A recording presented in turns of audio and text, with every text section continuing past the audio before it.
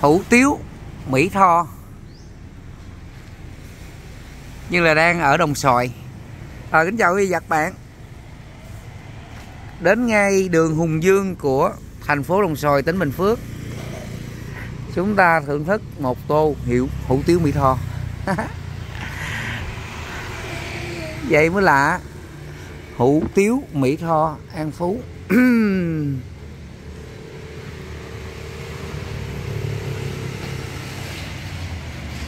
rồi, vô tham quan.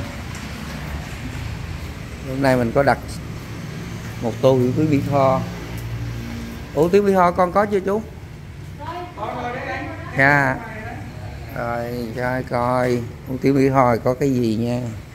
Thì chắc là cũng cũng cộng hủ tiếu truyền thống của người Việt Nam thôi, hủ tiếu khô nè rồi à, có xương, có hải sản quan trọng cái nước dùng như thế nào?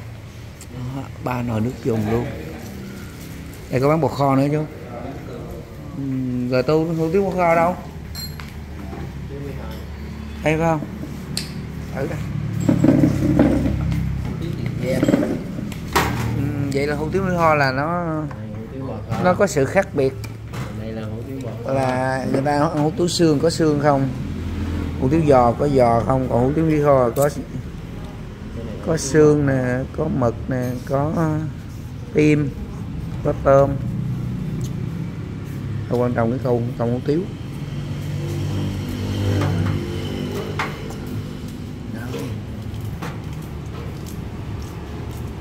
chắc là ngon. Đó. Phải có cái gì đặc sản không biết.